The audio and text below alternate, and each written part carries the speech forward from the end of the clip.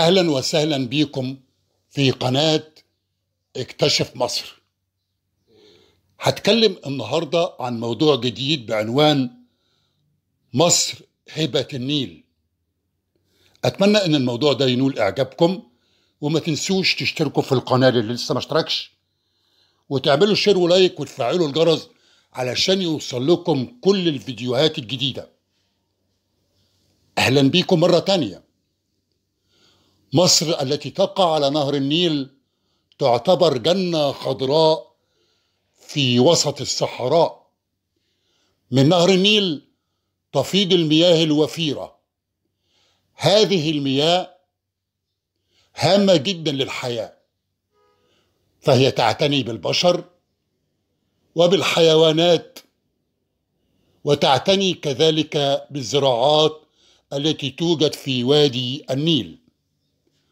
اعتقد المصريين القدماء بوجود آلهة. هذه الآلهة المصرية القديمة كانت تمثل على هيئة حيوانات أو على هيئة بشر وكانت تمثل أيضا على شكل إنسان له رأس حيوان. هذه الآلهة المصرية القديمة كانت تلعب دورا هاما للإنسان المصري القديم أثناء فترة حياته وبعد مماته. الإله الرئيسي عند المصريين القدماء كان يسمى آتوم أو رع وكان إله الشمس عند المصريين القدماء. كان هذا الإله حسب العقيدة المصرية القديمة خالق الكون كان يمثل إله رع على شكل قرص الشمس وكان يمثل أيضا على شكل رأس صقر أو إنسان له رأس صقر.